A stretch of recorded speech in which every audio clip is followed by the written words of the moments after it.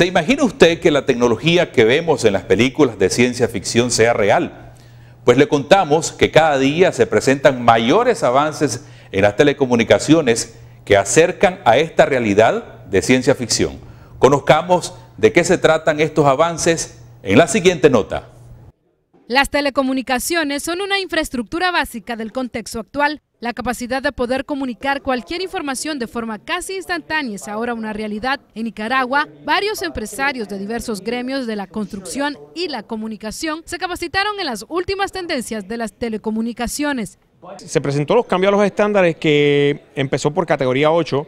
Antes no teníamos esa categoría. A nosotros seguir subiendo las velocidades, que ahora tenemos velocidades en cobre de 40 gigabytes, también tenemos velocidades en, fibra de 400 gigabits, o sea que siguen subiendo los niveles de velocidad.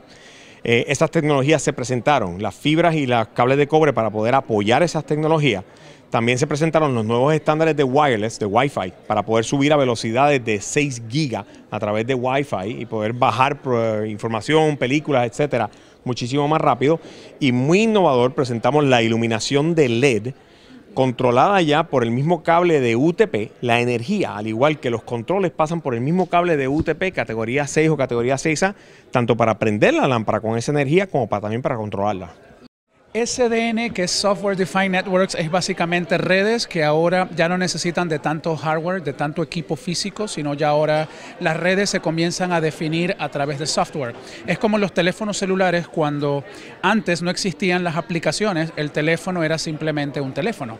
Ahora que existe software y aplicaciones, ahora tu teléfono hace muchas más, ah, tiene muchas más funciones y todo se hace por software. Lo mismo está ocurriendo en el mundo de redes y Brocade es uno de los pioneros a nivel mundial con el Open Network Foundation en trabajar e implementar esas tecnologías nuevas en las redes de comunicación.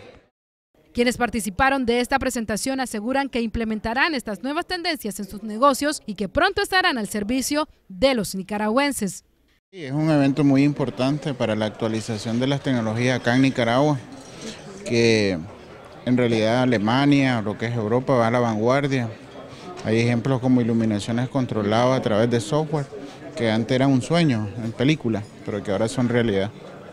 ¿De qué, otras eh, presentaciones vio usted que le llamaron la atención? Hay presentaciones de gabinete, conectividad, todos los accesorios que se utilizan para el área de las tecnologías en comunicación. Eh, me parecieron muy interesantes, de hecho también me motivaron a inventar algo nuevo, ya que si miro que ellos pueden, yo, yo también puedo.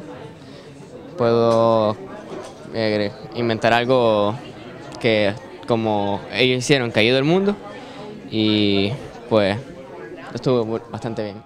Por ejemplo, la, que se controla con, con un switch, eh, controla la luminosidad, por ejemplo ahí lo pueden ver y me pareció bastante interesante porque permite a las empresas tener un mejor este, rendimiento en la parte de consumo energético a través de regulaciones de intensidad de las la luminarias LED.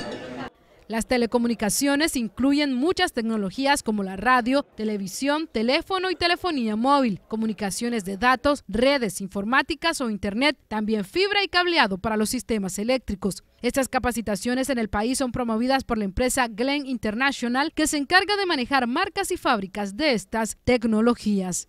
Daliana Ocaña,